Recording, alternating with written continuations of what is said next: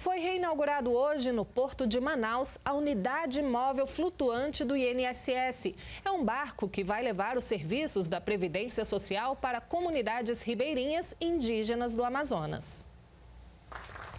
É um barco confortável, com sala de espera, balcões de atendimento e capacidade para atender em média entre 12 e 15 pessoas. Essa é a segunda unidade do Preve Barco que passa por reforma e ampliação.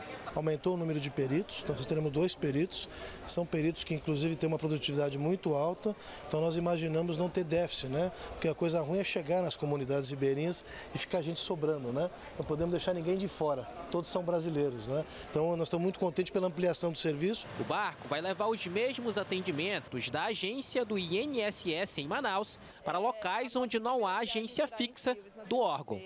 É, os nossos atendimentos são né, dos serviços de benefício aposentadoria, salário maternidade, pensão por morte, auxílio reclusão, é, benefícios por incapacidade e o LOAS. Né? A gente conta com o apoio de sete técnicos, dois médicos peritos é, e uma assistente social.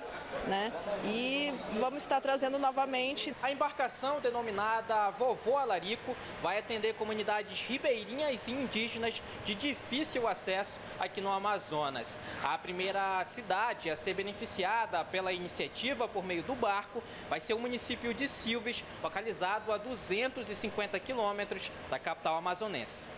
O ministro da Previdência Social, Carlos Lupe, participou da solenidade de lançamento da unidade flutuante e destacou que a meta é dobrar o número de Previbarcos em 2024. Esse é um trabalho social que vai ao encontro onde a população precisa ter o serviço da Previdência Social.